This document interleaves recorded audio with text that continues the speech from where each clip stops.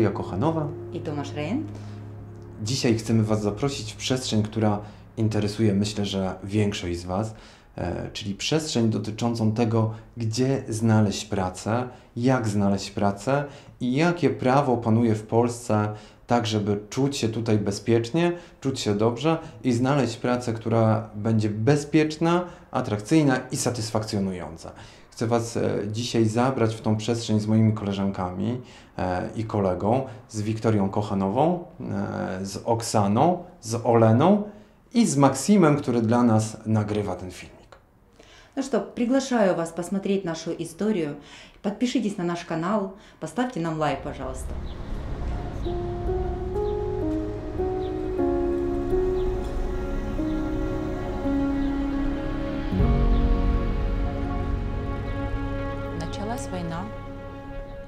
Я оказалась в Польше.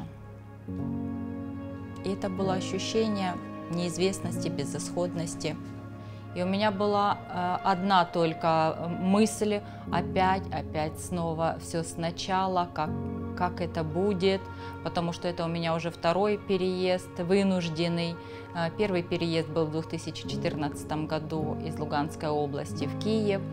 И это ощущение того, что опять ты это переживаешь, очень сложно. Но я прекрасно понимала, что это нормально чувствовать себя так, и я э, знаю, что необходимо дать себе время, побыть в этом состоянии, когда ты не можешь ни о чем не думать, ничего не хотеть.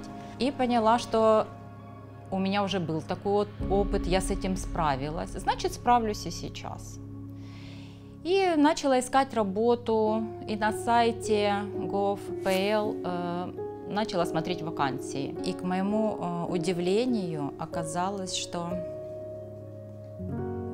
требуются психологи украино- и русскоязычные. И я была очень довольна, что я, оказывается, могу в чужой стране работать по своей профессии и помогать людям, которые оказались тоже в такой же ситуации, как и я. Я быстренько написала резюме, э, перевела э, через переводчик и э, разослала в разные организации. И первый э, отклик, который я получила, это была фундация психологической помощи «Разум». И меня пригласили на собеседование. Прежде чем работать в этой фундации, необходимо ее проверить. Э, То есть я на странице в Фейсбуке посмотрела э, отзывы, посмотрела э, публикации, то есть они актуальны сейчас, находятся на рынке. И мне Патриция у которой я проживала, она подсказала, что можно проверить, легальный ли этот эм, работодатель. Она мне подсказала, что это можно сделать на сайте КРС, то есть есть ли регистрационный номер. Мы его нашли. Оказывается, фундация работает 9 лет. Пришел ответ, пришло подтверждение, что можно прийти. И я была очень рада тому, что э, мои э, документы оказались э, подходящие для этой фундации. Ну и так я оказалась и работаю здесь.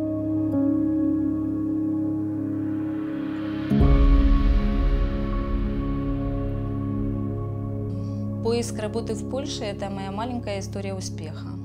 Потому что многие люди, приехав в Польшу, они все-таки привыкают к тому, что ежедневно поляки помогают либо перевести документы, либо ведут за руки в ЗУС, в другие инстанции. Такой способ люди привыкают ежедневно получать рыбу. Мне нужна удочка, чтобы я эту рыбу получала сама. И вот мне повезло очень с теми людьми, которые меня все-таки встретили, встретились по жизни, которые научили все-таки помогать себе и помогать другим. И 9 марта я уже была волонтером на государственной инфолинии Варшавы. Э, Сводилось все к тому, что я должна была отвечать на звонки украиноязычного населения, давать им информацию, куда обращаться за юридической помощью, где получать гуманитарную помощь в зависимости от районов, как оформить помощь ООН, как получить ПЕСЕЛь. Была приятно удивлена, проработав здесь на волонтерстве абсолютно бесплатно. Люди заметили, что уже Март закончился, я хожу все же в зимних сапогах, в которых приехала. Мне подарили новые кроссовки. Это было очень приятно. После этого я решила, что нужно уже найти себе оплачиваемую работу, потому что жить в Польше за счет помощи поляков я не могу. Нужно заботиться о себе, о двух детках, которые приехали со мной. Поэтому начались поиски работы. Это были сайты всевозможные, это были группы на Фейсбуке, это были и, скажем, обмен опытом уже девчонок, с которыми познакомилась на волонтерской линии. Э, девчонка Ира предложила мне найти работу, которая все-таки оплачиваемая. И говорит, я вижу, как ты помогаешь людям, знаю, что ты, твоя роль, миссия в жизни помогать словом воздействовать. Она меня взяла за руку и повела на собеседование в фирму Адека. Я четко не понимала, что это будет за работа. Она сказала, ты будешь работать с беженцами с Украины, это будут дети, это будут Мариуполь, это будут сложные дети. То, что ты можешь, то, что ты лучше всего у тебя получается. Когда мы пришли на первую консультацию, я узнала минимум информации, что буду работать на центре беженства ПТАХ.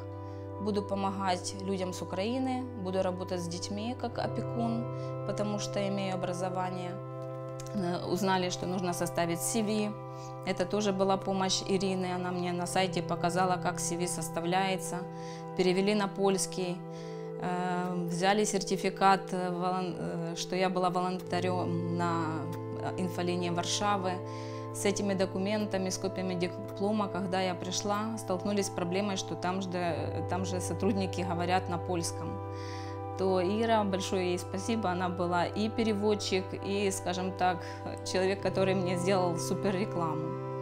После этого я попала на восьмичасовой тренинг, где подготовили э, работать э, с людьми в стрессовой ситуации, помогать жертвам насилия, определять этих людей среди э, вообще групп людей, прибывающих в Польшу.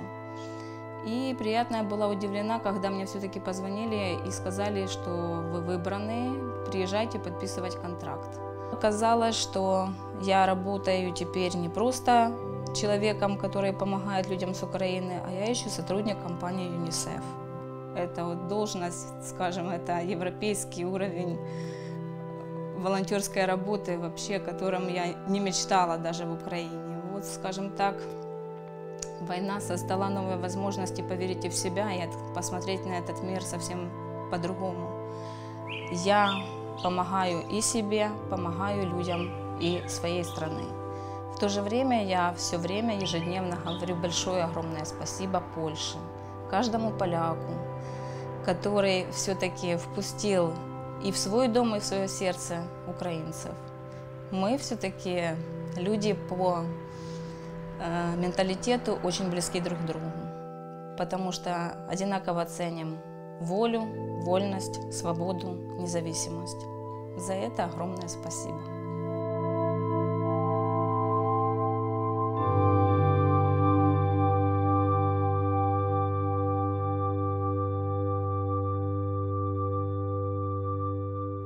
Mam nadzieję, że e, te historie, które usłyszeliście naszych koleżanek Oleny i Oksany, odpowiedziały na większość e, nurtujących Was pytań i spowodują, że poczujecie się bezpieczniej i bardziej pewnie na rynku pracy i tego Wam życzymy. Jeżeli jeszcze potrzebujecie przyjrzeć się tematowi pracy, czy poczuć się bezpieczniej na rynku e, pracy w Polsce, zapraszamy Was na warsztaty zawodowe. A dzisiaj ja Wam dziękuję. Спасибо большое, что вы были с нами. Приглашаем к нам фундацию. I życzymy Wam powodzenia. Jeżeli będziecie szukać pracy, to trzymamy za Was kciuki. Życzymy Wam znalezienia wymarzonej pracy.